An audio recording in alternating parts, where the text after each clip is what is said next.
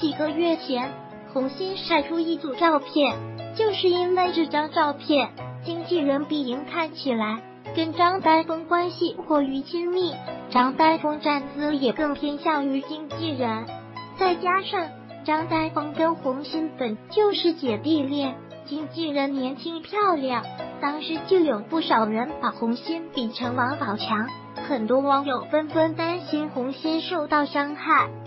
就在一个多月前，红心突然在微博上连续发了两条动态，说自己太笨了，并请教网友怎么才能做个聪明的女人。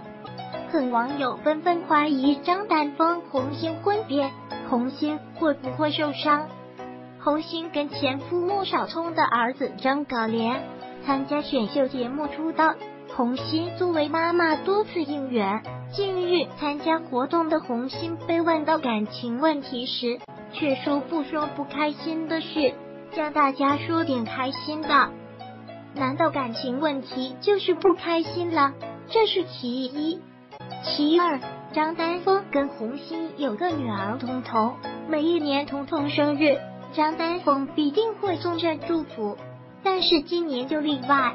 红心一个人陪女儿过生日，并且张丹峰非但没亲自发微博，就连去红心微博下为女儿说句生日快乐都没说，实在是非常的反常。其三，张丹峰在被传婚变后，依然带着经纪人碧莹参加活动，当时张丹峰被一群人围着，一旁的女生正是碧莹。跟他之前晒过的照片中穿的衣服一模一样。其次，红心最近带着女儿现身，身后跟着两个助理，可以看到这两个助理正是红心之前晒出五个人合影中的其中两位，唯独少了经纪人碧莹。这样看来，张丹峰会偶尔带着碧莹出现，但红心身边早已不带碧莹了。还有一个非常重要的信息，那就是红星跟张丹峰两夫妇以前一直关注碧莹的，但现在却不同了。原来红星已偷偷取消关注了碧莹，而张丹峰还在关注着碧莹。看来红星已经不想看到碧莹的动态，干脆直接取关了。更令人不可思议的是。碧莹跟嫂子红心关系一直很好，但在碧莹的微博里却只字未提过嫂子红心。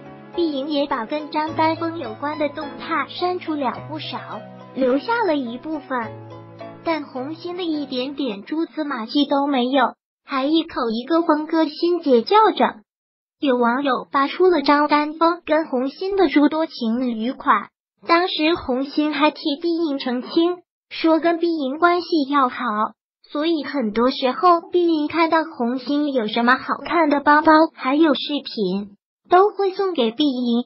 毕竟小女孩爱美。可以看到张丹峰跟红星情鞋子、衣服等等，红星已经取关了碧莹，但张丹峰微博依然留着对碧莹的生日祝福和照片。你怎么看？